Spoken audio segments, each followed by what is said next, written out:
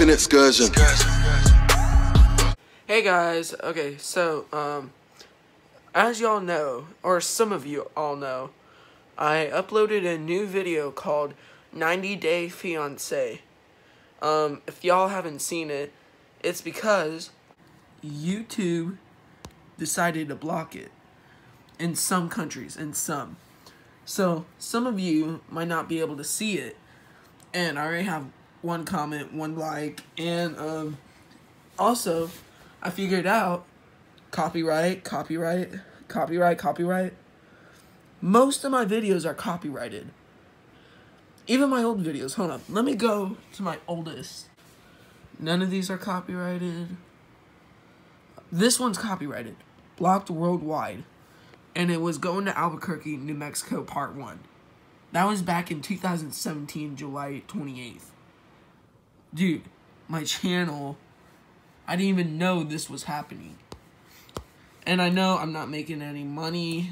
Uh, I'm not. I don't have enough subscribers or enough views, but I still want it to be copyright, co- or um, want it to be worldwide and all that. I don't care about the money. I care about my fans and um, and I care about making these videos for you guys. But YouTube decides to screw me.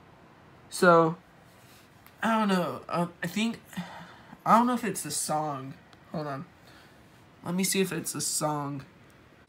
Video blocked in one country. Okay, so it's one country.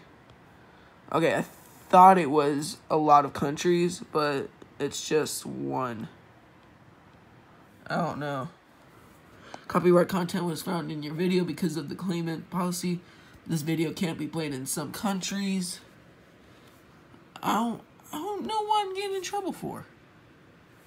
No, I know what a copyright claim is.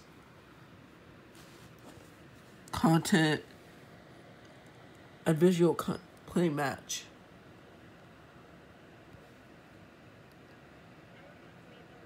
Oh.